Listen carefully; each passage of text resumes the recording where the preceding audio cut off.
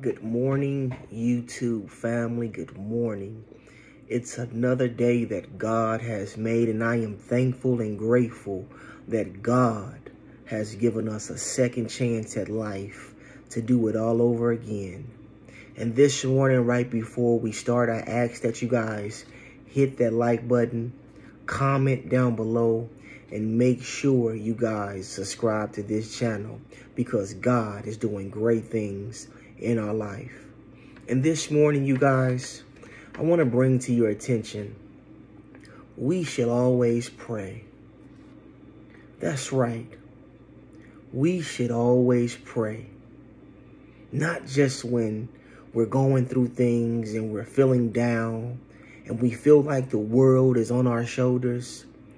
We should pray in season and out of season. We serve a God that can do all things. And as I say, and I tell you guys that we can do all things through Jesus Christ who strengthens us daily. We ought to be praying morning, noon, and night. Not just when we're going through things. We ought to have a special relationship with God. That's what he wants. He wants us to have that personal relationship where we always talking with him, walking with him, just giving him the praise and the glory. If you guys would turn with me to Luke chapter 18, verse 1, it reads, And he spoke a parable unto them to this end, that man ought always to pray and not to faint. Verse 2, saying there was in a city a judge which feared not God, neither regarded man.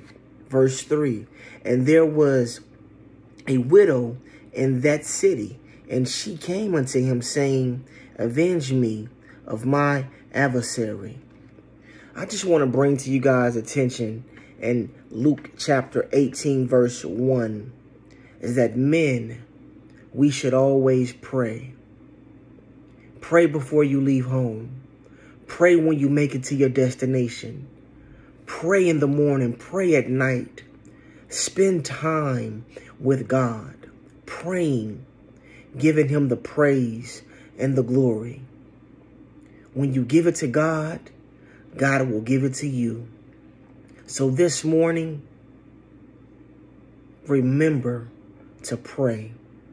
Remember that we serve a good God, a God that can do all things, a God that can change your life, a God that can turn it around. No matter what you're going through, we serve a good God that can do all things. So this morning, if you're feeling down, I'm here to let you know something right now. That when you pray, God hears you. God hears you and he wants you to have a prayer life with him. So this morning, just remember that God loves you and that we shall always pray in season and out of season. Right before we end, let's give it to God in prayer. Heavenly Father, we come saying thank you. Thank you, Father God, for this day. Father God, I ask right now that you touch each and every individual. I ask right now, Father, that they continue praying, that they always seek you first, Father God. Father God, no matter what's going on in their lives, I ask right now that you touch them. Touch them in a mighty way. Father God, I ask right now that you touch each and every family member out there. Father God, I ask right now that you touch my family. Father God, I ask right now that you deliver. We thank you for what you're doing. We thank you for what you're getting ready to do. In Jesus Christ's name we pray. Amen and thank God. So this morning,